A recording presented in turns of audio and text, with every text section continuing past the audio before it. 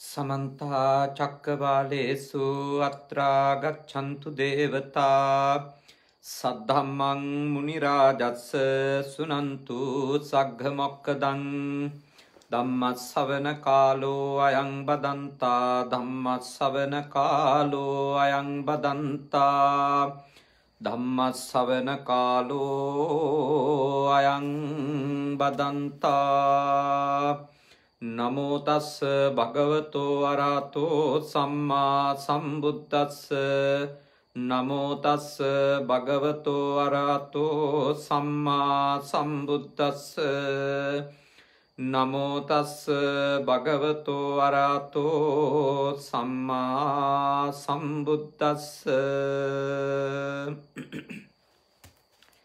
කාරුණික ශ්‍රද්ධාකාමී පිංහතුනි අද අපේ පින්වත් පිරිස ඊටාම ශ්‍රද්ධාවෙන් යුක්තව බුද්ධපුතුන් මුහුණු පොත සමග එකතු වෙන්නේ තථාගත ලෞතර බුදුරජාණන් වහන්සේ දේශනා කරපු තව උතුම් සද්ධර්ම දේශනාවකට ඔබේ අවධානය යොමු කරන්නට.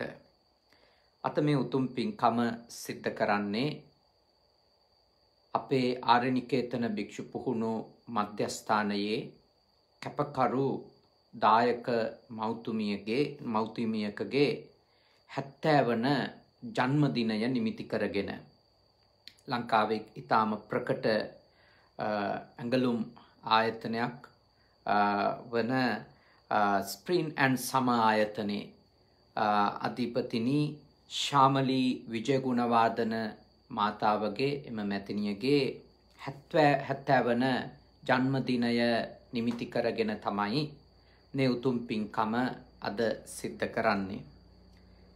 එතුමිය මේ තමන්ගේ ජන්මදිනය සමරද්දී විශේෂයෙන්ම සිහිපත් කරන්නේ තමන්ගේ ආදරණීය ස්වාමි පුරුෂයාණන් අපට බොහෝම ආදරය දක්වපු විශාල ලෙංගතුකමකින් මා සමග කටයුතු කරපු සත්පුරුෂ මහත්මයෙක් තාම නිහඬ නිස්කලංක ජීවිතයක් ධර්මානුකූලව ගෙවන්ඩ වීර්ය කරපු කෙනෙක්.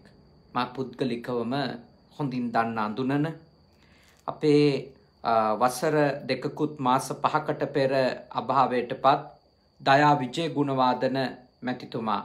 අපේ ජන්මදිනය සමරන විජයගුණවාදන මැතිනියගේ ශාමලි විජයගුණවාදන මැතිනියගේ ආදරණීය ස්වාමි පුරුෂාණන් එතුමන්ට පිම්පෙත් අනුමෝදන් කිරීමත් දෙදෙනාගේම ආදරණීය දෙමව්පියන්ට මියගියපු ඥාතිහිත මිත්‍රාදීන්ට වගේම ස්ප්‍රින්නන් සම ආයතනය සේවය කරපු එ මියගියපු සියලුම කාර්ය මණ්ඩල සාමාජිකයින්ට පින් අනුමෝදන් කිරීම මේ උතුම් පින්කමේදී බලාපොරොත්තු වෙනවා. ඒ වගේ ආදරණීය පුතාල දෙන්න දුලාන් මහත්මානන්ටත් ඒ වගේම අනිකුත් පුතනුවන් දුලංක මහත්මානන්ටත් ඒ දෙපළගේම පවුලට එකතු වෙච්ච ඒ දියනිවරු ඒ වගේම පුංචි මුණුබුරු මිනිබිරියෝ එගොල්ලෝ මෞතුමිය සමගම ජීවත් වෙනවා ඒ අයට ආශිර්වාද කරන්නටත් බලාපොරොත්තු වෙනවා. ඊට අමතරව ඇමරිකාවේ පදිංචිව සිටින චන්ද්‍රා වීරසිංහ සහෝදරියට සහය පවුලේ අයටත් ඔස්ට්‍රේලියාවේ පදිංචිව සිටින සොහොයුරාණන් අක්බෝ විතාන මහත්මා ඇතුළුවේ පවුලේ අයටත් ආශිර්වාද කරමින් ආයතනයේ කාර්ය මණ්ඩලයට සෙත් ප්‍රාර්ථනා කරමින් ඒ වගේම ඔවුන්ගේ පවුල්වල අයටත් මේ දේශනාව ශ්‍රවණය කරන ඔබටත් ආශිර්වාද කරමින් තමයි ස්ප්‍රිනන්් සම ආයතනයේ අධිපතිනිය අපේ ආරණිකේතන භික්ෂු පුහුණු මධ්‍යස්ථාන කැපකරු දායක මෞතුමියක් ලෙස හැම වෙලේම පොඩි හාමුදුරුල්ලට තමන්ගේ මුණුබුරන් ගැන හිතන වගේ තමන්ගේ දරුවෝ ගැන හිතනවා වගේ හැම වෙලාවකම පොඩි හාමුදුරුවන්ලගේ අවශ්‍යතා මොනවද කියලා හොයල බලලා බොහෝම ශ්‍රද්ධාවෙන් ඒ කටයුතු නිස්සරණාධ්‍යාසයෙන් ඉෂ්ට කරන අපේ විජයගුණවාදන මාතාවට ආශිර්වාද කරන්නට තමයි මේ උතුම් පින්කම සිද්ධ කරන්නේ. ඉතින් අපි සතුටු වෙනවා එතුමියගේ ජන්මදිනය අදට යෙදෙද්දි මේ විදියට ආශිර්වාද කරලා උතුම් පින්කමක් සිද්ධ කරන්නට අපට අවස්ථාව ලැබීම ගැන. මොකද අපි මහරගම පමුණුව සිරිමංගලාරාම විහාරස්ථානයේ ධර්ම දේශනාවකට මේ අවුරුද්දෙත් අපට ගෙවස්සරෙත් ආරාධනා කරලා ඉතිබුණේ. නමුත් ඇතටම මේ වසංගත තත්ත්වය එක්ක ඒ සියලුම කටයුතු වලින් අපට බැහැරවෙන්නට සිද්ධ වුණත්. බොහෝ අවස්ථාවන් වල අපිව ශ්‍රීමංගලාරාම විහාරස්ථානයට වැඩම කරවමින් එවිතරක් නෙමෙයි අපේ දයා විජයගුණවාදන මැතිතුමන් තුමා ජීවතුන් අතර ඉඳිද්දී තමන්ගේ උපන් ගමට අපිව වැඩම කරවාගෙන ගිහිල්ලා දවස් ගාණක් මහන්සි වෙලා නැවතිලා ඉඳගෙන තමන්ගේ ගමේ ඥාතීන්ට ධර්ම දානමය උතුම් කුසලයක් සිද්ධ කරගන්න අවස්ථාව සලසමින් කරපු පින්කම් අපට හැම මොහොතකම එතුමා ගැන සිහි කරනකොට මතක් වෙන දේවල්. ඉතින් අපි සතුටු වෙනවා අද ඔබතුමියට ආශිර්වාද කරමින් මිය ගිය අපේ විජයගුණවාදන මැතිතුමාට පින් දෙමින් මේ පින්කම කරන්නට ලැබීම පිළිබඳව ඔබ හැම දිනාටමත් බුද්ධ පුතුන් ශ්‍රාවක පිරිසට ආශිර්වාද කරන මේ උතුම් ධර්ම දේශනාව ඔබ මේ හෝරාව පුරා බොහොම ශ්‍රද්ධාවෙන් ධර්ම ගෞරවයෙන් යුක්තව ශ්‍රවණය කරන්නට කියලා මා ඔබගෙන් මෙත්සිතින් යුක්තව සිහිපත් කර සිටිනවා. වංචක ධර්ම සහ චිත්තෝපක්ලේශ ධර්ම කියන උතුම් ධර්ම ග්‍රන්ථය ඇසුරු කරගත්ත දේශනා මාලාවේ අද තවත් වටින මාතෘකාවක් අපි සාකච්ඡා කරනවා. තීනය සහ මිද්ධය නැත්තං එකට අපි සඳහන් කරනවා තීන මිද්ධ කියන චෛතසික ධර්ම පිළිබඳව සිත් පිළිබඳව අපේ සාකච්ඡාව අද දවසේ සිද්ධ වෙන්නේ. මේ තීන මිද්ධ කියන ධර්මය කොයි ආකාරයටද අපේ සිතේ යෙදෙන්නේ කියන එක ගැන අපි සාකච්ඡා කරමු. ඉස්සෙල්ලම ප්‍රයෝජනවත් වෙන ඔබට මොකක්ද තීන මිද්ද කියන්නේ කියලා තේරුම් ගන්න එක. චිත්ත චෛතසිකයන්ගේ අලස බව එකවේ සිතෙත් සිතුවිලි වලත් තියෙන කම්මැලිකම. අලසකම. කටයුත්තු වල හැකිලෙන බව. යම් කිසි කාර්යක් තියෙනකොට ඒ කාර්යයන් කරන්ට හිත හැකිලෙනවා. හිත ඒකට ප්‍රබෝධමත් වෙලා එන්නේ නැතිකම. හිත ඒකට වේගෙන් ඉදිරිපත් වෙන්නේ නැතිකම. ඊළඟට පසුබසින ස්වභාවය පහුබහිනවා ඉදිරියට යනවා වෙනුවට අතඇරල දානවා තමන්ගේ උතුම් අරමුණු අන්න ඒ ස්වභාවයට බුදු දහම කියනවා තීන සහ මිද්ද කියලා.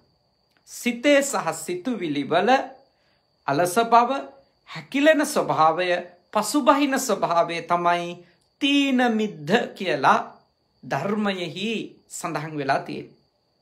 චිත්ත චෛතසික ධර්මයන්හි පවතින ඒ මිලාන බව මලානික බව හැකිලෙන සුළු බව පසුබස්නා සුළු බව නිදිමත ගතිය කම්මැලි ගතිය මේ විදියට විවිධ වචන වලින් අපට මේ තීන මිද්ද පිළිබඳව සාකච්ඡා කරන්නට පුළුවන්. laziness and sleepiness කියලත් තීන මිද්ද කියන එක ඉංග්‍රීසියට පරිවර්තනය කරන බොහෝ ධර්ම ග්‍රන්ථවල මම දැකල තියෙනවා ඒ වචනය තමයි බොහෝ වෙලාවට යොදල තියෙන්නේ. හැබැයි මෙහි සාකච්ඡා කරන්නේ කුමක් ගැනද මනසේ දෙන සිතෙහි යෙදෙන නිදිමත කම්මැලි අලස ස්වභාවය ගැන. හැබැයි අර නිදිමතකම සිතේ යෙදුනට අලස බව සිතේ යෙදුනට අපේ සිත හරි උපායශීලීව අපි අලස බවින් නෙමේ ඉන්න කියලා අපිට එත්තු ගන්නුනා. අපි ඉන්න මේ කම්මැලිකමක තීන මිද්ද එකට අහු වෙලා නෙමෙයි කියලා අපටත් ලෝකයටත් ඒත්තු ගන්නන්න අපේ හිත ගොඩක් උදව් කරනවා. මට මතක් වෙනවා අර පොඩි කාලේ ඉස්කෝලේ යනකොට. ඇත්තටම මං ඉස්කෝලේ යන්න පොඩි කාලේ කැමති නෑ. හැමදාම ඉස්කෝලේ යනවා කියන එකට මම කැමති නෑ. ඉතින් ගොඩාක් අකමැති දවස්වලට උදේට මේ නැගිටින්ඩ වෙන බව දන්න හින්දා රෑට නිදාගන්නකොට එක මං පිරිවෙනිදිත් හිතල තියෙන එක. ගෙදර ඉදිද්දිත්. මේ හෙට උන හැදිලා තිබුණ නං හොඳයි කියලා හිතාගෙන නිදාගන්න වෙලාවල් තියෙනවා. මොදු දේට නැගිටල ස්කෝලය අන්ඩ වෙන හින්දා. ඉතිං සමහර දවස්වලට මේ උදේට ඇඟ යාන්තන් රත්වෙලා වගේ තිබුණත් පුදුම සතුටක් ඇතිවෙනවා මට වුණ. එ මොකක් හින්දද. ඒ තමයි අපේ හිත. ඒ අරමුණට අකමැති කොට අපේ ශරීරයත් සමහර වෙලාවට අපිට උදව් කරන සමහරලාවට විභාග කිට්ටු වෙනකොට. අපිට ඒදේට උනන්දුවක් නැත්තම් වමනයන්ට එනවා බඩේ කැක්කුම හැදෙනවා. ඇත්තටම බඩේ කැක්කුම හැදෙනවා. දැන් මට මගේ පොඩි කාලේ ඒ කරපුවා මේ දැන් හමුවෙනවා මේ මගේ පන්සලේ ඉන්න සේනාසනේ ඉන්න මේ චූටි හාමුදුරුලගෙන් අවුරුදු හතේ අටේ දහයේ අයගේ සමහර වෙලාවට මම දන්නවා ඒගොල්ලොන්ට බඩේ කැක්කුම එනකොටම මට ආපු එකම තමයි කියලා. පුංචි කාලේ මට ආපු මේ ඔළුවේ කැක්කුමම තමයි මෙයාටත් ඇවිල්ලා තියෙන්නේ කියලා මං හොඳටම දන්නවා මේ ඒ ඒ ඒ ඒ මූණුවරෙන්ම. එහෙම එනවා ඒක තමයි තීන මිද්ද. ඒක දැන්නේ අපි දන්නේ වැඩි හිටියෝ වෙනකොටනේ චූටි කාලෙදී අපි චූටියට මේ කපටිකං ඒ විදිහට කරනවානේ. ඒ විදියට කපටිකං කරනවා ඒ විදියට ඒ ඒ අපේ සිතේ ඒ කම්මැලිකම ආවට පස්සේ ඇඟත් අපිට උදව් කරනවා. ඇඟත් උදව් කරනවා. ඇත්තටම උණ ඇවිල්ලා ඇත්තටම ඇඟ රත් වෙලා ඔළුවේ කැක්කුම ඇවිල්ලා. හැබැයි ඒක කොතනින්ද පටන් ගන්න කියලා බැලුවොත් අපි ඒ අදාළ අරමුණට අකමැතිකමත් එක්ක. අදාළ අරමුණෙහි අපේ හිත ඇලෙන්නේ නැතිකමත් එක්ක අදාළ අරමුණ එක්ක ඉදිරියට යන්න අපේ හිතේ උද්‍යෝගය නැතිකමත් එක්ක අපේ සිත සිතුවිලි ඒ වගේ නිදිමත සහ අලස කම්මැලි ස්වභාවයක් ගණ්ඩ පටන් ගන්නවා. විශේෂත්වය සිත අපිට වංචාවක් කරලා දෙනවා මේ ඔයා ඉන්න නිදිමතේ නෙමෙයි කියලා. මේ ඔයා ඉන්නේ අලසකමක නෙමෙයි. කොහොමද ඒ වංචා කරන්නේ? එක එක විවිධ ආකාරයේ රූපවලින් ඒ වංචාව හිත අපිට හොඳට කරලා දෙනවා. පළවෙනි එක. සමාධිවේශයෙන් වංචක තීන මිද්දය සමාධිවේශයෙන්. තැන් මෙය සාමාන්‍ය ජනයාට නොව සමාධිය වඩන යෝගාවචරයන්ට ඇතිවන යෝගාවචරයන් රවටන ධර්මයකි. එකවේ ධ්‍යාන සමාධි තත්ත්වයන් උපදවා ගන්ට භාවනාව පුහුණු වෙන සමාධි භාවනාවන් ආනාපාන සතිය ඇතුළු භාවනාවන් වැඩිදියුණු කරන යෝගාවචරයක් කියල කියන යාට ඒ භාවනාව පුහුණු වෙන කෙනා නිවන අරමුණු කරගෙන චිත්ත ඒකාග්‍රතාවය අරමුණු කරගෙන ධ්‍යාන අරමුණු කරගෙන සමාධිය අරමුණු කරගෙන හිත පුහුණු කරන කෙනාට කියනවා යෝගාවචරයා. අන්න ඒ වගේ අයට තමයි මේ සමාධිය වගේ තීන මිද්දය බහුල වශයෙන් යෙදෙන්නේ කියලා රේරුකාණි හාමුදුරුවෝ සඳහන් කරනවා. මොකක්ද? සමාධිය වැඩිම සිත බොහෝ වෙහෙසට පත්වන ක්‍රියාවකි. මට එහෙම ගැඹුරු සමාධි තත්ත්වයන් පිළිබඳව අත්දැකීමක් නෑ. මගෙන් ඇහුවොත් ඔබ වහන්සේ ඒ ධ්‍යාන මට්ටම් වලට හිත දියුණු කරලා තියෙද කියලා ඇහුවොත් මම අවංකවම කියන්නේ නැහැ. මම ඒ සමත වඩමින් එහෙම ධාන මට්ටම් දක්වා ගමන් කරන්නට සමර්ථ වෙලා නැහැ. එතකොට මේ ධාන මට්ටම් වලට ගමන් කරන එක ස්වාමීන් වහන්සේ සිහි කරනවා ඊටාම වෙහෙස කර ධර්මයක් ඒක කියලා. මොකද උන්වහන්සේ ඒ ධ්‍යාන සමාපatti වලට සමවැදීමට අවශ්‍ය කරන භාවනාමය පුහුණුව ලබපු උතුමන් වහන්සේ කෙනෙක්.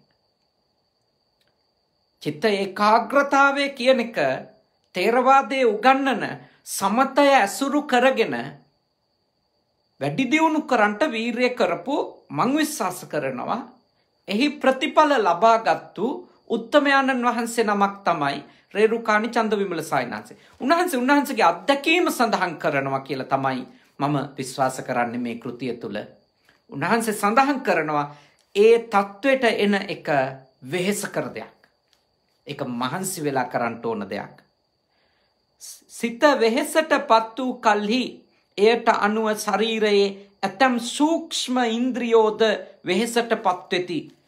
හිත වෙහෙසෙනකොට සිත ඒකාග්‍රතාවය ගොඩනගා ගන්න ඊට සාපේක්ෂව කයෙත් යම් යම් ඉන්ද්‍රියන් සූක්ෂමව වෙහෙස වෙන්න හිමින් හිමින් පියවරෙන් පියවර ඉතාම තියුණු ආකාරයට වෙහෙසෙන්න පටන් ගන්නවා.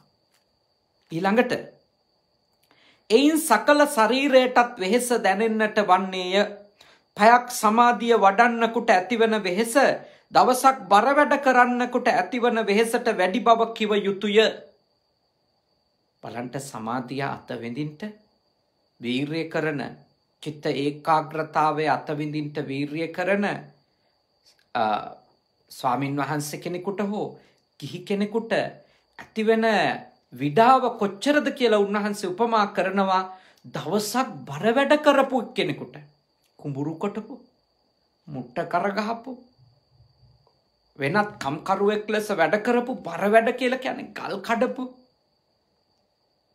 අන්න එවැනි කෙනෙකුට ඇතිවෙන වෙහෙස ස්වාමීන් වහන්සේ සඳහන් කරනවා සමාධිය ඇති කරගන්ට වෙහෙසන කෙනෙකුගේ කායිකවත් ඇතිවෙන තත්ත්වයක් කියලා. කයත් එවැනි වෙහෙසක් ඇතිවෙනවා කියලා. මෙය යෝග පුරුදු නොකළ උන්ට නොවැටහෙන්නේය මේ සමාධි තත්ත්වයන් අත්විඳින්ට භාවනානුයෝගී තත්ත්වයට ගියපු කෙනෙකු ගියපු නැති කෙනෙකුට මේක වැටහෙන්න ඒකනේ මම මුලින්ම කිව්වේ මම ඒ මට්ටමට භාවනාවට දියුණු කරලා හිත නැති නිසා සමාධි ධාන මට්ටම් වලට මගේ හිත භාවනානුයෝගීව වඩලා එකට වීර්ය කරලා නැති නිසා මම ඒකේ වෙහෙස ගැන දන්නේ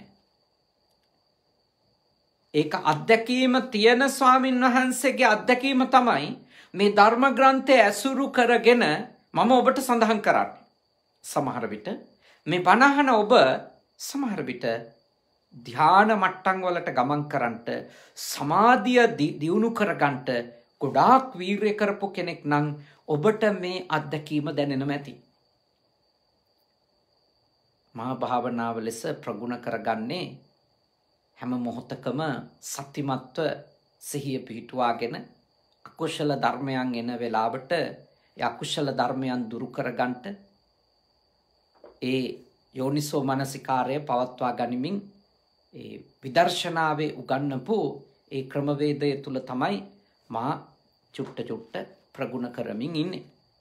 හැබැයි මේ ධ්‍යාන මට්ටමට එන්ට සමාධි මට්ටමට එන්ට සිත ප්‍රගුණ කරන කෙනෙකුට විශාල කායික වෙහෙසක් කායික වීර්යයක් කායික දරාගැනීමක් ඒ වෙනුවෙන් කරන්ට වෙන බව තමයි සයින්හන්සේ සිහි කරන්නේ. තිගේ අත්දැකීම තිබෙන අයට මං හිතනවා ස්වාමීන් වහන්සේ කියන දේ හරියටම අවබෝධ වෙන ඇති ප්‍රත්‍යක්ෂ වසයෙන්ම. සමාධිය අතුරුදහන් වී එය වෙනුවට ඔහුගේ సంతානයේ සමහර විට සමාධියේ වේශයෙන් තීන මිද්දය පහළ වෙයි. ඒ බව යෝගාවචරයාට නොදැනෙන්නේය. ඉන්පසු ඔහු සමාධිය වඩමිය යන අදහසින් සමාධි ප්‍රතිරූපක තීන මිද්දය වඩන්නේය. එයින් ඔහුගේ යෝගය නිෂ්ඵල වන්නේ සමහර වෙලාවට සමාධිය කියලා හිතාගෙන සමාධියට ප්‍රතිරූපක ප්‍රතිවිරුද්ධ ධර්මයක් වෙච්ච මේ මැලි බවෙහි කම්මැලි බවෙහි නිදිමත බවෙහි අලස බවෙහි කෙනෙක්කින්ට පුළුවන්. එහින්දා මා ඔබට යෝජනා කරනවා මා ඔබට යෝජනා කරනවා මේ සමාධි මට්ටම් ඒ මට්ටමට අපිට තාම අත්දැකීම් නැති වුණාට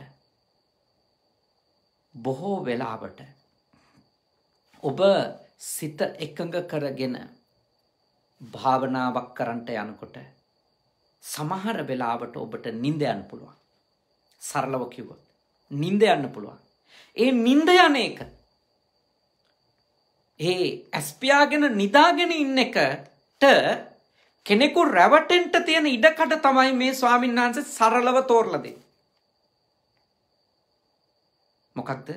තමන් හිත ඒකාග්‍ර කරගෙන සිත එක අරමුණක පිහිටවාගෙන ඉන්නවා වාගේ කෙනෙක් නිතිමතෙන් ඉන්න පුළුවන්. කම්මැලි කමට එක තැනකට වෙලා ඇස් දෙක පියාගෙන ඉන්න පුළුවන්. ඒකින් කියනවද ඇස් දෙක පියාගෙන එකම ඉරියව්වක රැඳී ඉන්න හැම දෙනාම පාහේ නිදාගෙන ඉන්න කියලා. නෑ. එහෙම කියන්ට බෑ. එහෙම කියන්ට බෑ. සමහර කෙනෙක් එහෙම වෙන්ට පුළුවන්. ඒත් හැමෝම එහෙමයි කියන්ට බෑ. හැබැයි මෙහි එවැනි චිත්ත ඒකාග්‍රතාවයක් දියුණු කරගන්න යන අය පරික්ෂං වෙන්න ඕන දේ තමයි. සිහිකල්පනාවෙන් ඉන්ට ඕන දේ තමයි. සමහර විට එක අරමුණකට හිත ඒකාග්‍ර වෙලා කියලා හිතාගෙන යම් වෙලාවක් නින්ද යන්න පුළුවන්. ඒ කෙටි නින්දක ඉන්න එක පැය කහමාරක. නින්දක ඉන්න එක සමාධියකට ධ්‍යානකට සමවැදිලා හිටියා කියලා කෙනෙක් රැවටෙන්ට තියෙනට කඩු වැඩි. එහෙමුණොත් ඇත්ත සමාධි මට්ටම පිළිබඳව ඇත්ත ධ්‍යාන සමාපත්ති පිළිබඳව අත්දැකීම එයාට කවදාවක්කත් ලබාගන්ට හම්බ වෙන්නේ නෑ. මොකද එයා හැමදාම තමන්ගේ හිත මැලි වෙලා අලස වෙලා නිදිමත වෙන එක නින්ද යන එක ටික වෙලාවක් භාවනාවෙන් හිත ඒකාග්‍රවීම ලෙස පිළිගත්තොත් මොකද බොහෝ වෙලාවට සාමාන්‍ය ධ්‍යාන මට්ටම් වලට නෙමෙයි සාමාන්‍ය භාවනාමය කටයුතු වල නියැලෙන කොටත් මා දැකලා තියෙනවා බොහෝ දෙනෙක්ගේ හිස හිමින් හිමින් හිමින් හිමින් පාත් වෙලා උකුලටම කඩන් වැටෙන අවස්ථාවල්. ඒ කියන්නේ නිදි කිරා වැටෙනවා. හැබැයි එයා පැයකට පසුව නැගිටලා ප්‍රකාශයක් කවදාවක්වත් හරි කරනවද මට නින්ද කියා කියලා නෑ. ගොඩක් වෙලාවට කියන්නේ හොඳට භාවනාව වැඩුණා.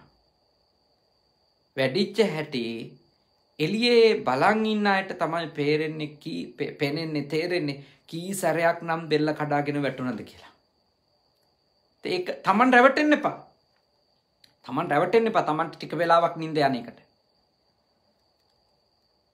තමන් අතපය ගුලි කරගෙන ඇස් දෙක පියාගෙන කම්මැලිකමට වෙන ක්‍රියාවක නියැලෙන්නේ නැතුව ඉන්න එක හිත ඒකාග්‍ර කරගෙන හිටීමක් ලෙස ඉඳීමක් ලෙස තමන්ට රැවටෙන්න එපා. මොකද හේතුව ලෝකෙ අය ටික දවසක් අනේ ඒ හාමුදුරුවන්ට ධ්‍යාන තියෙනවා සමාපත්තිය තියෙනවා හොඳටම සමාධිය තියෙනවා කියලා ටික දවසක් පස්සෙන්ගේ. ඒ පස්සෙන් එන මිනිස්සු තව ටික කාලයක් යනකොට ආරංචි වුණොත් ඊට වඩා තත්වයකට ආපු එක්කෙනෙක් ඉන්නවා කියලා එයාගේ ගාවට යන්න පටන් ගනී. එනිසා බාහිර ලෝකයේ අයට ඇත්තටම අපි ලබලා තියෙන දේවල් පිළිබඳව එක් ටික දවසකට ඇතිවෙන මහ උද්‍යෝගයක් මිසක මහ උනන්දුවක් මිසක ඕක බාහිර අයට අදාළ කාරණයක් නෙමෙයි. ඇත්තටම අපේ හිත ඒකාග්‍රතාවයෙන් යුක්තයිද කියන එක වැදගත් වෙන්නේ කාටද? අපිට. අපිටනේ වැදගත් වෙන්නේ. දැන් මේ කාලේ අපේ දූල පුතාලා ගොඩක් වෙලාවට Zoom එක පාවිච්චි කරලා පාසලේ පාඩම් වලට සම්බන්ධ වෙන්නේ. පන්ති වලට සම්බන්ධ වෙන්නේ. ඉතින් ගුරුවරුන්ට බොහෝ විට මූණු පේන්නෙත් නැහැ. ගුරුවරුන්ට බොහෝ විට මූුණ පෙන්නෙත් නෑ. ඉතිං බොහෝ වෙලාවට ගුරුවරු පන්තිය ඉවර වෙලානේ ගුරුවරු පන්තිය ඉවර වෙලා පුද්ගලිකව කතා කරනකොට තමයි සමහරලාවට හැරෙන්න පුළුවන්. එතකොට එයා හිතා ගත්තොත් පැයම මම පන්තිය හිටිය කියලා. පැයම මම හොඳින් සවන් දුන්න කියලා. කොච්චර රැවටීමත්ද. තමන්ගේ හිත පාඩමට ඒකාග්‍ර වුණා කියලා. මටත් ඒක ගිය දවස් හතකට අටකට කලින් වුණා. මෙහි මා යන ජපන් කොලෙජ් එකේ ඒගොල්ලොන්ගේ ආයතන සමූහයේ පාසල් අතර ජපන් බසින් කතික තරංගයක් තිබුණ. ඉතින් අපිට එදා ස්කෝලෙට එන්න ඕන නෑ අපි සූම් එකෙන් තමයි එදා සම්බන්ධ වෙලා මේක මුල ඉඳල මහන් ඉන්ඩ ඕන. මා ඉතිං විනාඩි හතලයක් හතලිස් පහක් විතර ආන්ට ඇති. ඉතුරු විනාඩි හතලිය හතලිස් පහම මා නිදී බලනකොට කතික තරගේ ඉවර වෙලා. සූම් ලිංකිකත් එක නවත්තලා. ම පාසලට ගිහිල් අවංකවම කිව්වා සමහවෙන්ඩ මට නං මිනිත්තු හතලිස් පාකට විතර පස්සේ නින්ද කියා මා ඔබට යෝජනා කරනවානේ. මා ඔබට යෝජනා කරනවා ඇත්තටම ඔබ අවබෝධ කරගන්ට අපි ඕන කෙනෙකුට ඒ දේවල් වෙන්න පුළුවන්. හිත ඒකාග්‍ර වෙනවා කියලා හිතාගෙන දැ මම ඔන්ලයින් ඉන්න නිසා ගුරුවරු අනිවාර්යෙන්ම හිතන්න ඇති අවබෝසන් බති හමුදුරුවෝ අහන් ඉන්නවා. ඇයි? මං ඔන්ලයින් ඉන්න හිටියට නිදි. ළමෙක්ටුනත් එහෙම වෙන්න පුළුවන්. එල්ලියේ අය අපි ගැන හිතාගන්න එක නෙවෙයි මෙතන කාරණාව. ඇත්තටම අපේ හිත ඒකට එකඟ වෙලා තිබුණද? මොකද අපිට එයින් ප්‍රතිඵලයක් ලැබෙන්නේ? ඇත්තටම අපි ඒකාග්‍රතාවයෙන් යුක්තව ඒ කාරණාවෙහි ඒ කරන ක්‍රියාවෙහි නියලී හිටියෝතින් විතරයි. නැත්තං අපිට අපි තීන මිද්දයකට අහු වෙලා නින්දෙ හෝ අඩනින්දේ ඉන්න ගමන් දේවල් අහන් හිටයටනේ. දේවල් අහන් හිටයට. අපි අපිට රැවටෙන්ට හොඳ නෑ පූර්ණ අවධානයක් යොමු කරා කියලා. තීන මිද්දයෙන් බලපෑම් කරනවා. ඉගෙන ගන්නකොට භාවනා කරනකොට තීනමිද්ද ඒ වගේ බලපෑම් කරනවා. සිත ඒකටම එකඟ වෙලා තියෙනවා වගේ හිත අපිවත් රවට්ටලා අපි කෙටි නින්දකට යවනවා. වටපිට බලනකොට වටපිට බලනකොට සමහර වෙලාවට අපි නැගිටල තියෙන්නේ සමාධියෙන් නෙමෙයි. අපි නැගිටල තියෙන්නේ කුමකින්ද කෙටි නින්දකින්. ම ඔබට යෝජනා කරනවා. හිත එකඟවීම වගේ ඔබ නින්දට වසඟවෙන්ඩ පුළුවන් මටත් වෙලා තියෙනවා ම යෝජනා කරන ඔබටත් වෙන්ඩ පුළුවන් ඉගෙන ගන්න පුතාලා ගොඩාක් පරිස්සමින්. ඉගෙන ගන්න අපේ දියනිවරු ගොඩක් පරිස්සමින්. මොකතර ගුරුවරේ කබියස ඉන්තගෙන ඉගෙන ගන්න කොට වගේ නෙමෙයි. මේ අන්තර්ජාලය ඔස්සේ ඉගෙන ගන්නවා කියන එක හරි කම්මැලිකමෙන එකක්. හරි නිදිමතක් කෙන එකක්. මට සමහර වෙලාවට සූම් එකෙන් බණ කියන්න කියනවා. හරි දුස්කර දෙයක්. ඒක හරි දුස්කර දෙයක්. එනිසා මා ඔබට යෝජනා කරනවා ඔබ ඉතාම බුද්ධිමත්ත.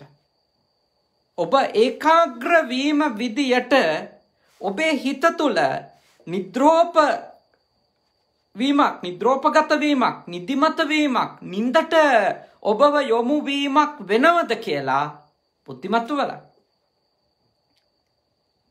මොකද අපි රැවටිලා ඉන්න පුළුවන් එක තැනක්. අපි රැවටිලා ඉන්න පුළුවන් එක තැනක එහෙමුණොත් අපරාධේ. ගොඩාක් දේවල් මගේ ඇරෙන්න පුළුවන්. ගොඩාක් දේවල් මගේ ඇරෙන්න පුළුවන්.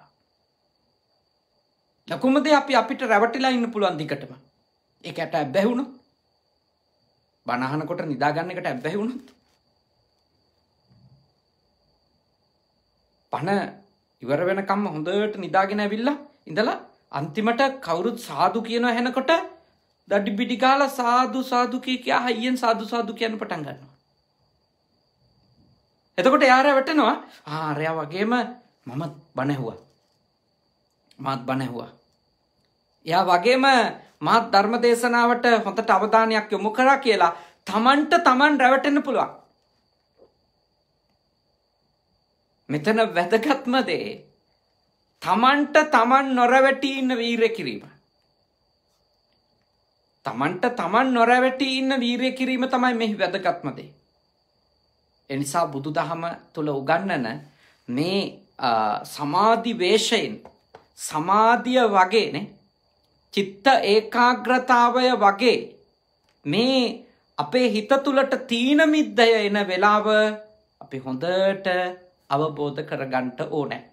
එක තමයි අද කතා කරන පළවෙනි කාරණය. ඊළඟට.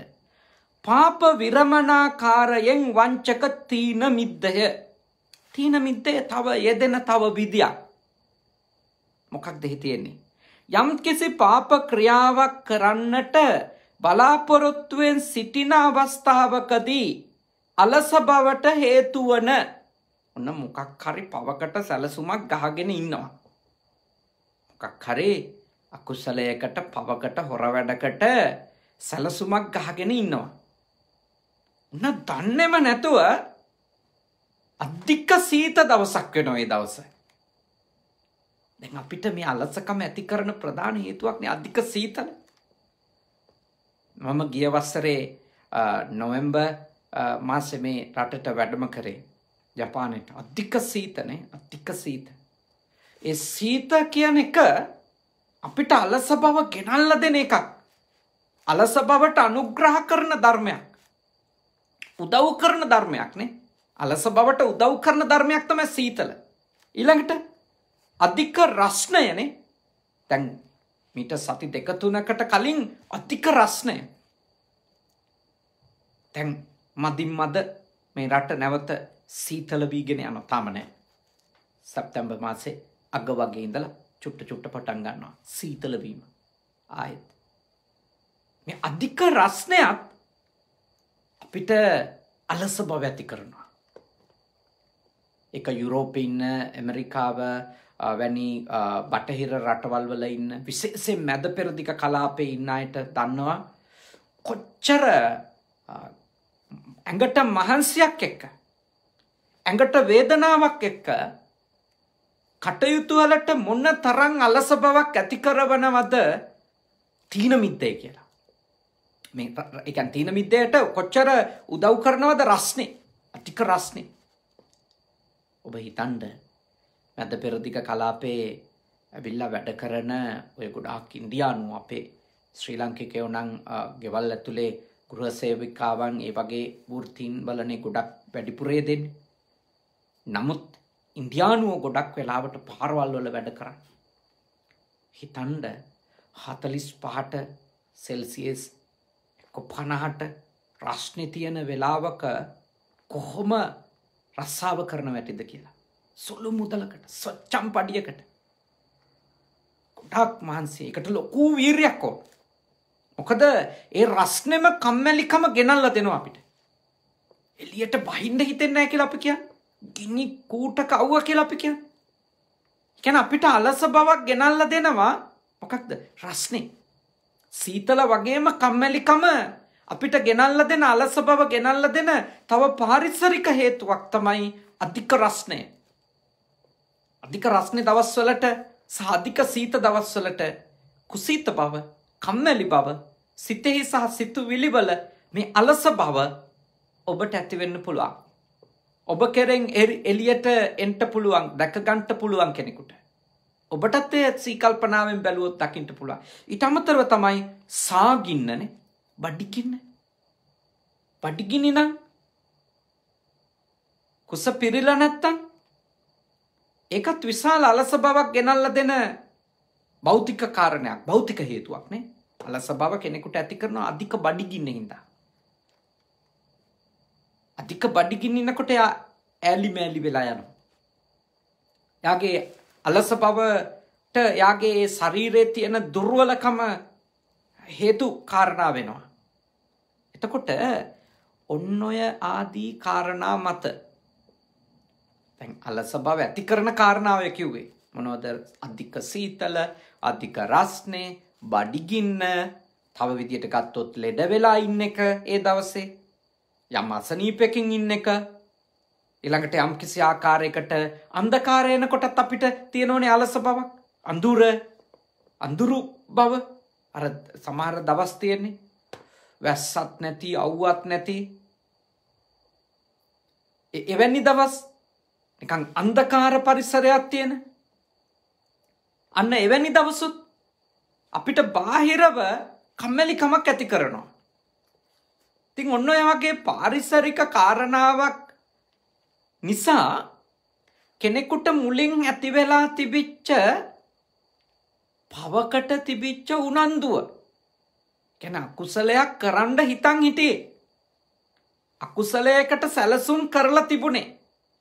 පෞකාර ක්‍රියාවක යෙදෙන්ට යම්කිසි ආකාරයකට අදහස් කරගෙන ඉඳලා නේද අදහස් කරගෙන ඉඳලා ඔන්න දන්නෙම නැතුව දන්නෙම නැතුව එයාට මේ කම්මැලිකම හින්දා එයා කල්පනා කරනවා අද මං යන්නේ ඔය ගමන. අද ඒක නොකර ඉන්නවා. අද නොගිහින් ඉන්නවා. දැන් බැලු බැල්මට එයා එදා දවසේ පවට යන්නේ ඒ පෞකාරකම කරන්නේ නෑ. ඒ අකුසලය කරගන්නේ ඒක කරගන්නේ නැත්තේයි ඒ පවට අකමැති හින්දද හීතල වැඩි හින්දා ඇතිවෙච්ච කම්මැලිකම හින්දද. ඒ පවට අකමැත්ත තියෙන හින්දද අධික රස්නෙත් එක්කාපු කම්මැලිකම හින්දද. යථාර්ථය තමයි එයා කුසලය තේරුම් අරගෙන අකුසලයෙන් වැලකිලා නෙමෙයි. අකුසලයේ විපාක හඳුනගෙන අකුසලයෙන් වැලකිලත් නෙමෙයි. ඇත්තටම සිද්ධ වෙලා තිබෙන්නේ මොකක්ද? ඇත්තටම සිද්ධ වෙලා තියෙන දේ තමයි එයාට අර පාරිසරික භෞතික හේතුවක් නිසා ඇතිවෙච්ච කුසීතකමත් එක්ක එදා එයා පව කරන්න ගියේ නැහැ. මිනිස්සු කම්මැලිකමට හරි ඒව නොකර ඉන්නව නම් හොඳයි. ඒක ගැන ආයේ කිසි මේ විවාදයක් නැහැ. කම්මැලිකමට හරි නිදිමත වැඩි වෙලා හරි පස්පව් දසා කුසල් කරන්න යන්න නැතු ඉන්නව නම් හොඳයිනේ. බැංකුවක් කඩන්න යන්න බලන් ඉන්නවා, ගේකට පනින්න යන්න බලන් ඉන්නවා, අහිංසක මිනිස්සෙක් අමාරුවෙන් මේ සීට්ටු දාලා යන්තම් ගත්තු මේ චේන් එකක් වලල්ලක් මුද්දක් හංගගෙන ඉඳිද්දි ඕක මංකොල්ල කන්න යන්න බලන් ඉන්නවා. සැලසුම් හදන් ඉන්නවා. ඔය අතරේ නිදිමතක් ඇවිල්ලා කම්මැලි කමක් ඇවිල්ලා මිනිහා නොගිහින් ඉන්නවා. ඒක හොඳයි. එහෙම හරි වෙලා නොගිහින් ඉන්න එක. හැබැයි හැබැයි මතක තියාගන්න ඒ ඒ ඒ ක්‍රියා ඒ කියන්නේ කම්මැලිකම නිසා එයා ඒ පවින් වැළකුණාට එයාට සීලමය ආනිසංසයක් ලැබෙන්නේ නැහැ. එයා ඒ ඒ ශික්ෂාපදයක් රැක්කම ලැබෙන ආනිසංසය එයාට ලැබෙන්නේ නැහැ. පාපයෙන් වැළකීම කොහොම සිදු වුණත් හොඳ දෙයක්. හැබැයි එහෙත් අලස බව නිසා වැළකීම සීලමය කුසලයට අයිති නෑ. එක හොඳට තේරුම් ගන්න ඕන. ඒ කියන්නේ කම්මැලිකමට මොකක් හරි පෞකාරකමකට ගියේ නැතුව ඉඳලා කවුරු හරි එදා හැමදාම කිව්වොත් අද සිල් රැකගත්තා. අනේ සාදු සාදු ඒ පින් අනුමෝදන් වෙනවා. නෑ. ඒක සීලමය කුසලයක් නෙමෙයි. එයා ඒ පවට එදා ගියේ නැත්තේ ඇයි? වැස්ස වැඩි. හීතලයි එළියට බැහැගන්න බෑ. අධික රස්නෙයි ඔළුව පැලෙන්න එනවා. එළියට බැහැගන්න බෑ කම්මැලි. තකොට කුසීතකමට කම්මැලිකමට අලසකමට කවුරු හරි පවින් වලකින එක එයාට හිතෙන්නත් පුළුවන් බලන් ඉන්න අයට හිතෙන්නත් පුළුවන් සමහර විට මොන තරම් උතුම් කෙනෙක්ද මේ අකුසල් වලට යන්නේ නැතුව එක තැනකට වෙලා ඉන්නවා. හැමෝම අකුසලයට යද්දි මෙයා ඒ කටයුතු වලට යන්නේ නැතුව ඉන්නවා. හරි හොඳ දෙයක්. හැබැයි එයා තමයි දන්නේ ගියේ නැත්තේ ඒ අකුසලයට අකමැති හින්දද අකුසලයේ විපාක අවබෝධ කරගෙනද එහෙම නැත්තන් නිදිමත වැඩි හින්දද සීත රස්නේ බඩිගින්න ඇඟපතට එච්චර හොඳ නැති නිසා මේ ආදී කරුණු මතින් හටගත්ත චෛතසිකයක් නිසාද කියන එක එයා තමයි දන්නේ. තමන් තමයි එක දන්නේ. එහින්ද මා ඔබට මෙත් සිතින් යුක්තව යෝජනා කරනවා. ඔබ හොඳට නිරීක්ෂණය කරන්න. ඔබ හොඳට බලන්ඩ. ඔබ යම්කිසි අකුසලයකට නොගීල ඉන්නේ. ඔබ යම්කිසි අකුසලයක නොයදී ඉන්නේ. ඒ අකුසල කර්මයෙහි විපාක පිළිබඳව තිබෙන. ගැඹුරු අවබෝධය විශ්වාසය කර්ම විපාක පිළිබඳව ඒ ඇති වෙලාද නැත්නම් නිදිමත වැඩිහින්දද සිතට ගතට දැනෙන සිතුවිලි වලට දැනෙන ඒ අලසකම හින්දද ඔබ වැලකිලා තියෙන්නේ. ඔබ නිරීක්ෂණය කරන මොකද හේතුව කොහොම හරි පවෙන් වලකින එක සමාජයට හොඳයි. කොහොම හරි පවෙන් වලකින එක සමාජයට හොඳයි. අයහපතක නොයදීන්න එක. හැබැයි එයාට යහපතක් වෙන්න. එයාට පිනක් වෙන්න. එයාට එක කුසල ආනිසංස ධර්මයක් වෙන්න නම් එයා මොකද කරන්න ඕන. එයා ඒක එවැනි චේතනාවකින් කළ යුතු. එවැනි චේතනාවකින් ඒක කළ යුතුයි. එහෙම නැතිව මතකතියාගන්ට කම්මැලිකමට නොකර ඉඳපු දෙයකින් කටවක්කත් පින්සිද්ධ වෙන්නේ නෑ. සීලයක් රැක්කම ලැබෙන අනිසංස ලැබෙන්නේ. මොකද අපි සීලයක් රකිින්ඩ ඕන කොහොමද. ප්‍රාණගාතයේ තියෙන ආදීනව අවබෝධ කරගෙන. ඒ ප්‍රාණගාතයක් කරන්ට පහළ වෙන ඒ චේතනාවන්නි චෛතසික ධර්මයන්නි පවතින අයහපත් බව අවබෝධ කරගෙන. ඒ අයහපත් චෛතසිකයන්ගෙන් තමන්ගේ හිත නිදහස් කරගන්නවා කියන උදාර කුසලමය චේතනාව ඇති කරගෙන සියලුම සත්‍යෝ කෙරෙහි කරුණාව දයාව ඇති කරගෙන සබ්බපාන භූතානු හිතානු කම්පි සියලුම සත්වයෝ කෙරෙහි හිතානු කම්පාවකින් එහෙම ප්‍රාණගාතයෙන් වැලකින එකයි සීතල හින්ද දඩයමේ යන්න ඇතුව ඉන්න එකයි දෙකක්. එක දෙකක්. එක එකක් නෙමෙයි එක දෙකක්. හැබැයි කෙනෙකු රැවටෙන්න පුළුවන් සීතල නිසා දඩයම ගිහින් නැත්තේ. සීතල නිසා තමයි තමන්ගේ අරමුණු කරගත් අකුසලයට එදා යන්නේ නැතුව ගෙදරට වෙලා ඉන්නේ. තමන්ට ආපු කම්මැලිකමත් එක්ක හැබැයි යා හිතාගත්තොත් මං හොඳ සීලයක් අද ආරක්ෂා කරගත්තා නෑ. ඒක සීලය ආරක්ෂා කර ගැනීමෙන් ලැබෙන කුසලය හමුවෙන අවස්ථාවක් නෙමේ. සමහර විට කම්නැලිකමට නිසා හරි සමහර අපරාධවලට සමහර දවස්වල නොගිහින් ඉඳපු හින්දා දරුණු විපත්තිවලින් බේරිච්ච අයත් ඉන්නවා. දරුණු විපත්තිවලින් බේරිච්ච අයත් ඉන්නවා. වෙන්ට තිබිච්ච ලොකූ කරදරවලින් බේරිච්ච අයත් ඉන්නවා. එක හොඳට තේරුම් ගන්න ඕන. එහෙම ඒවත් තියෙනවා. එහින්දා කම්මැලිකමට හරි අපරාධකාරී ක්‍රියාවක් නොකර ඉන්න එක. කෙනෙක්ගේ දෙයක් කඩාවඩා ගන්න යන්නේ නැතුව ඉන්න එක. කෙනෙකුගේ පවුල් සංස්ථාවකට මැදිහත් වෙන්නේ නැතුව ඉන්න එක. කෙනෙකුගේ ජීවිතයක් තොර කරන්න යන්නේ නැතුව ඉන්න එක. කම්මැලි හිතිලා හරි ගිහිල්ලා කේලම් කියලා ගිනි තියන්නේ නැතුව ඉන්න එක. එක එක ලොකු දෙයක්. ඒකෙන් පින් සිද්ධ නූනට අඩුම සමාජය හපතක් තියෙනවා. එයාට හෙම චේතනාවකින් නොකරත් එයා එලියට බැස්සේ නැතිහින්ද ඒ දවසේ අසමගි වෙන්ඩ හිටපු දෙන්නෙක් සමගියෙන් ඉන්න මොකද වෙලාවට එයාට කම්මැලි හිතිලා. එයාට තීන මිද්‍යක් පහළ වෙලා නැත්තම් ගිහිල්ලා දෙපැත්තටම කේලම් කියලා ගිනි තියලා එන දවසක් වෙන්න පුළුවන්. එයාට වීර්යාවන. එහින්දා හොඳට තේරුම් ගන්න මේ හිත. මේ හිත අපිව රවට්ටනවා. මේ හිත අපිට විවිධ ආකාරයෙන් විවිධ ආකාරයෙන් වංචාවන් සිද්ධ කරනවා. විවිධ ආකාරයෙන්. ඒ වංචාවට අපි ගොදුරු නොවී ඉන්න නේ. ගොදුරු නොවී ඉන්න අපි වීරය කරන්න ඕන. අපි උත්සාහ කරන්න ඕන අපේ ජීවිතේ. මේ ලබාගත්තු මිනිස්සාත්ම භාවේ. තුන්වෙනි කරුණකුත් කියලා අද දේශනාව නිමා කරනවා. තව එක කරුණක්.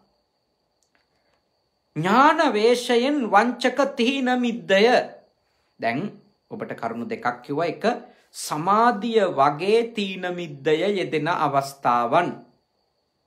නේ සමාධිය වගේ තීන මිද්දය. හිත එකඟ වෙලා වගේ සිතේ සිතුවිලි වලයි නිදිමතාපු වෙලාවල් තියෙන්න පුළුවන්. සිත ගැන නිරීක්ෂණය කරන්න. ඊළඟට පාප විරමණය නැත්තම් පවින් වලකීම වගේ තීන මිද්දේ දිච්ච අවස්ථා තියෙන්න පුළුවන්. ඒකටත් කෙනෙක් රැවටෙන්ඩ පුළුවන් අවස්ථාවක්. කෙනෙක් රැවටෙන්ඩ පුළුවන් අවස්ථාවක්.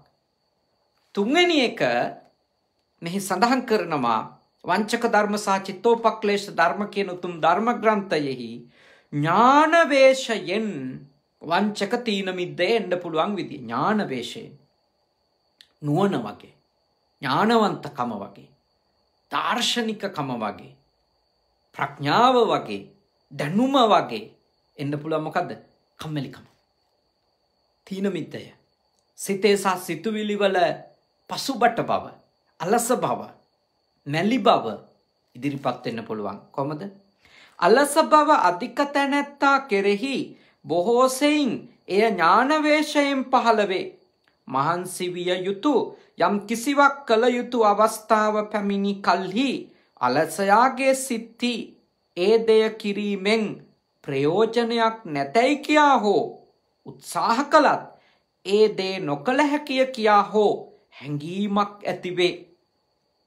කොහොමද වෙන්නේ? අලස බව අධික එක්කෙනාට මොකක්ද වෙන්න පුළුවන්? ඒ අලස බව එලියට පනින්න පුළුවන් මහා බුද්ධිමත්කමක් වගේ මහා දැනුවත්කමක් වගේ එතකොට එයා මොකද කරන්න එයා කරන දෙයක් තමයි මහන්සි වෙලා කරන්න තියෙන වැඩක් යෙදෙන වෙලාවට එයා හිත ඒ දේ කරන එකෙන් එයාව වළක්වන්නේ මොනව කියලා දීලා දෙයාට හිතට. එයාගේ තීන මිද්දයම එයාට කියලා ඔක් කරලා වැඩක් නැහැ. ඔව් ඵලදායි දේවල් නැහැ. ප්‍රොඩක්ටිව් නෑ ඒක. ඕකේ ඕකේ කිසිම ඵලදායි බවක් නැහැ. නිස්කාරණේ ඔයාගේ වෙලාව කැපකිරීමක් මහන්සි වීමක්. ඔය ඔය දේ කරලා කිසිම සාර්ථකත්වයක් ලබන්න බෑ. ඒ කියන්නේ අලසකම තියෙන්නේ. ඒ ක්‍රියාවෙන් නියැලෙන්න තියෙන උනන්දුවක් නැතිකම තියෙන්නේ. හැබැයි තර්ක ගේනවා සිය ගාණක්. ඒක කරලා වැඩක් නැති බව මේ කාලේ වක් කිරීමෙන් කිසිම ඵලදායි බවක් නැති බව. ඒ ඊළඟට තර්ක හදනවා තව අසුවල්ලු අසුවල්ලු ඒ වගේ දේවල් කරලා ඒවා ව්‍යර්ථ වෙලා ගියපු හැටි අසාර්ථක වෙච්ච හැටි. මේ ආදී වශයෙන් අපේ හිතනේ අපේ හිත පුද්දුම ආකාරයේ වංචාවල් අපිට කරනවා. දැන් බලන් ඉන්න කෙනෙකුට එයාගේ කතාව අහන් ඉන්න කෙනෙකුට හීනකින්වත් හිතෙන්නේ මිනිහා මේ කම්මැලිකමට කියවන්නේ කියලා. හිතෙන්නේ මොකද? එච්චරටම ලස්සනට තර්කය හදනවා. ඒ තර්කානුකූල විග්‍රහය අහන් හිටියම අනිත් අයටත් හිතෙනවා අපිත් මේක කරලා වැඩක් නෑ කියලා. මොකද එච්චරටම එයාගේ කම්මැලිකමට එයා මහ බුද්ධිමය ප්‍රභාවකින් දෙයක් නොකර ඉඳීමේ වටිනකම ඒ එකට කරන්ට යොදවන කාලයේ තියෙන ශ්‍රමයේ තියෙන නිරර්ථක බව නිස්ප්‍රයෝජන බව පෙන්වල දෙනවා. එතකොට ඒ වගේ වෙලාවට අපේ හිතේ වංචක තීන මිද්දේ පහළ වෙලා තියෙන්නේ මොකක් වගේද? මහා දැනුවත්කමක් වගේ. සමහර වෙලාවට එයා විතරක් නෙමෙයි ඒ හිතට අහුවෙන්නේ. එයා විතරක් නෙමේ ඒ හිතට අහුවෙන්. ඒ කතා අහන් ඉන්න අනිත් අයත් අහුවෙනවා ඇත්ත තමයි මෙයා කියන එක කියලා. මම ඔබට යෝජනා කරනවා. ඔබේ හිත මේ වගේ වංචාවල් ඔබට කරන වෙලාවල් තියෙනවා. සමහර දේවල් කරන්න තියෙන අකමැත්ත, කම්මැලිකම, අලසකම, නිදිමත හින්දා නිදිමත හින්දා තර්කේ හදලා දෙනවා හිත වැඩක් නැති වැඩ. ඵලදායි නෑ නිදිමත, කම්මැලිකම. ඕක ගිහියෙකුට උනත් පැවිදි අපිට උනත් එන්න පුළුවන්. දැන් උදාහරණයක් විතර ගත්තොත් මට එහෙම කවදාකවත් හිතලා නැහැ. හිතෙන්න පුළුවන් එකක් ඕන තින මිද්දේ තියෙනකොට හිතෙන්න පුළුවන් එකක්. මෙහෙම හිතෙන්න බැරිද? මට ඔන්න බණ දේශනාවක් කරන්න කම්මැලිකමක් එනවා කියලා හිතන්න. එතකොට මට ඒක කම්මැලිකම වගේ ඔළුවට එන්නේ නැතුව මම ඒකට තර්කයක් හදන්න පුළුවන් වැඩක් නෑ මේ මිනිස්සුන්ට බණ කියලා. කොච්චර කිව්වත් හැදෙන්නේ හැබැයි ඇත්තම කාරණාව කොතනද ඒ ඒ සිතුවිල්ල එන තැන කොහෙද කියලා නිරීක්ෂණය කරොත් කොහෙද? අද බණ කියන්න කම්මැලි. අද ධර්මදේශනාවට හරි හිතේ උද්‍යෝගයක් නැහැ. පසුබට ස්වභාවයක් තියෙන්නේ. හිත ඇලි මෑලි වෙලා කියපු ස්වභාවයක් තියෙන්නේ. එතකොට හැබැයි හිත එක ඒ විදියට කියලා දෙන්නේ වැටක් නෑ මේ ලංකාවේ මිනිස්සුන්ට බණ කියලා. මේ මිනිස්සු හැදෙන්නේ කොච්චර කිව්වත් ඉතින් ඔච්චර තමයි. එහෙම හිත අපේ කම්මැලිකමට මහා අවබෝධයක් වගේ උදව් කරනවා.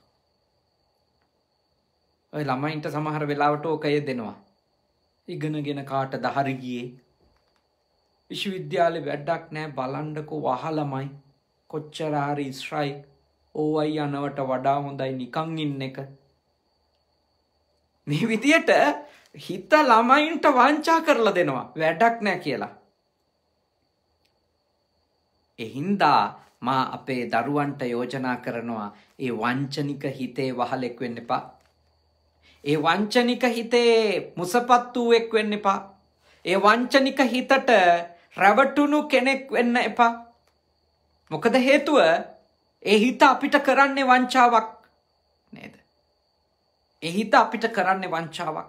ඒ හිත අපිට කරන්නේ බොරුවක්. මහා ප්‍රඥාවක් වගේ, මහා අවබෝධයක් වගේ, පුදුම විශාල තේරුම් ගැනීමක් වගේ, හිටි ගමන් මහා දාර්ශනික නුවණක් පහළ වෙලා වගේ කම්මැලිකම අපේ හිතේ ඉදිරිපත් වෙලා. හැබැයි අපිත් හිතනවා මේ මහා අවබෝධයක් කියලා.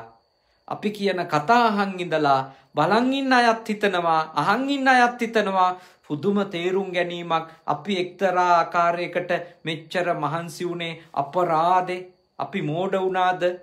එහෙමත් හිතනවා. මේ කම්මැලිකමට කියන කතාවක් නිසා. එහින්දා මේ හිත පුදුම වංචා කරනවා මේක තේරුම් ගන්න උත්සාහ කරා ඉතින් අද දවසේ ඔබ හැම කෙනෙක්ම හොඳට මේ ධර්ම කරුණු තුන ඉගෙන ගත්තනේ. බොහොම වටින දේශනා තථාගතයන් වහන්සේ කොච්චර සියුම්ව අපේ හිත විනිවිද දැකලද මනුස්ස సంతානය.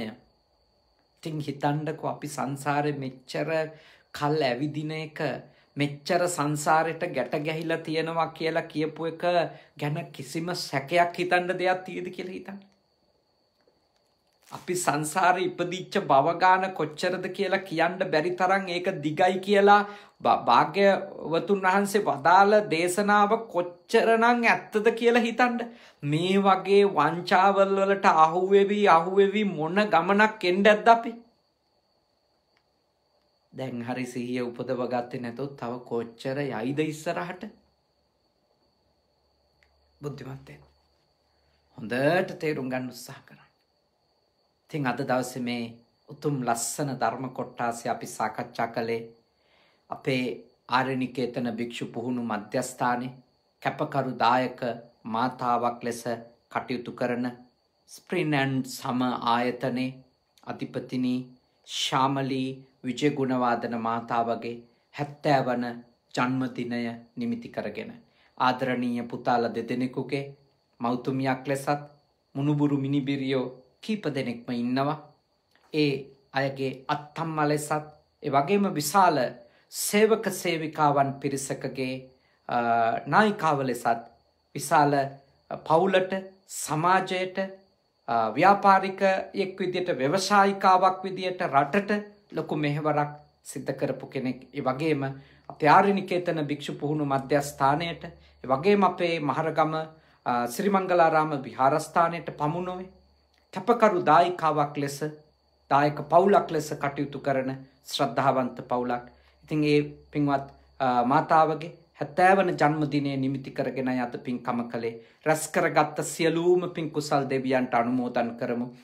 දෙවියන්ගේ ආශිර්වාදයෙන් එතුමියට නිදුක් බව නිරෝගි බව සුවපත් බව චිරජීවනය උදාවේවා ආදරණීය පුතාලා දෙන්නට.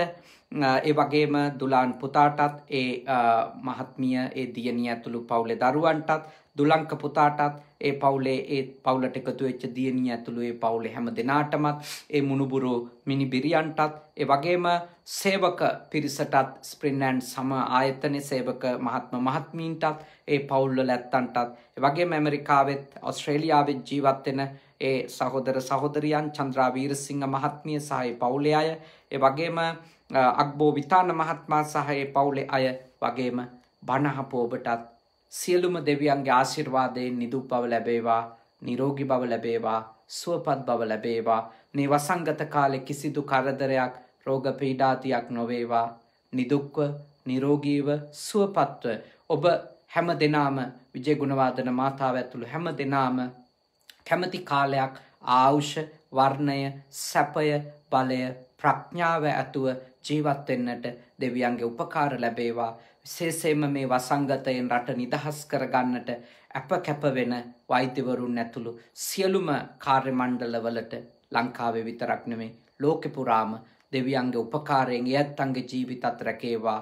උතුම් දෙවිවරුද මේ පිම්බෙලෙන් නිවන් දකිත්වා කියලා සාදු කියලා ප්‍රාර්ථනා කරන්නට ඒ වගේම විශේෂයෙන්ම අපේ සදහැවත් දායකතුමෙක් අභාවයට පත්වෙච්ච අවුරුදු දෙකකුත් මාස පහකට කලින් අභාවයට පත් දයා විජය ගුණවාදන මැතිතුමාට අපි මේ පින්පෙත් අනුමෝදනා කරමු. ඒ වගේම එතුමන්ගෙත් එම මැතිනියගෙත් ආදරණීය දෙමව්පියන්ට ඒ වගේම මියගියපු ස්ප්‍රින්ඇන්ඩ් සම ආයතනයේ සේවක මහත්ම මහත්මීන්ට සහ වාතමාන සේවක සභාවේ යම් කිසි කෙනෙක්ගේ නමින් මියගියපු කෙනෙක් ඉන්නවනම් ඒ හැමටත් මේ පින් අත්වේවා ඒ වගේම මේ වසංගතයෙන් මිය ගියපු සියලුම ලාංකිකයින්ට වගේම ලෝකවාසීන්ටත් මේ පින් අත්වේවා ඒ සියලු දෙනාම මේ පින්බෙලෙන් නිවන් දකිත්වා. සාධූ සාධූ සාධූ අවසාන වස්සයෙන් ඔබ පහැම දෙනාටත් අද ජන්මදිනය සමරණ ශාමලි විජයගුණවාදන මැතිනි ඇතුළු ඒ පවුලි සියලු දෙනාටත් මියගිය දයා විජයගුණවාදන මැතිතුමා ඇතුළු මියගිය සියලුම දෙනාටත් උතුම් අමා මහ නිර්වාණ ධර්මය අවබෝධ කරගන්නට මේ උතුම් පින කුසලය පාරමිතාවක් වේවා. සාධූ සාධූ සාධූ ඒ වගේම අතිපූජනීය කනගවා සුගත භාවනා මධ්‍යස්ථානය පුජි සුගත සෙනසුන කංසාය සුගත භාවනා මධ්‍යස්ථානය කියන සේනාසනයන්හි නිර්මාතෘ යාධිපත්‍ය හොබවන අපේ සහෝදර අතිපූජනීය හුරුළුනික වැවේ සුදම්ම ස්වාමින්ද්‍රයාණන් වහන්සේට එවගේම කනගවා සුගත භාවනා මධ්‍යස්ථානාධිකාරී අතිපූජනී අපේ සහෝදර අම්පිටිය සද්ධාවාස ස්වාමීන් වහන්සේ ඇතුළු මේ දේශනාව ශ්‍රවණය කරන්ට ලංකාවේ වැඩඉන්න අපේ ස්වාමීන් වහන්සේලත් සජීවීව එකතු වෙලා හිටියා. උන්වහන්සේලා හැම දෙනාටමත් ලංකාවාසී ලෝකවාසී සියලු දෙනාටමත් නිදුක් බව නිරෝගි බව සුවපත් බව පිණිසත් ඉක්මන් භවයක නිවන් අවබෝධය පිණිසත් මේ පින්කුසල් පාරමී වේවා. සාධු සාධු සාධු අපි පින් අනුමෝදන් කරමු. ඉදම්මේ ඥාති නං හෝතු සුකිතා හොන්තු ඥාතයෝ. ඉදම්මේ ඥාති නං හෝතු සුකිතා හොන්තු ඥාතයෝ. ඉදම්මේ ඥාති නං හෝතු සුකිතා හොන්තු ඥාතයෝ. ආකාසට්ටා චබුම්මට්ටා දේවානාගා මහිද්దికා පුඤ්ඤන්තං අනුමෝදිත්වා චිරං රක්ඛන්තු සාසනං ආකාසට්ටා චබුම්මට්ටා දේවානාගා මහිද්దికා පුඤ්ඤන්තං අනුමෝදිත්වා චිරං රක්ඛන්තු මේ ගරු ආකාසට්ටා චබුම්මට්ටා දේවානාගා මහිද්దికා පුඤ්ඤන්තං අනුමෝදිත්වා චිරං රක්ඛන්තු මම් පරන්ති ඔබ හැම දිනාම නිදුක් වෙත්වා නිරෝගී වෙත්වා සුවපත් වෙත්වා. සාදු සාදු සාදු.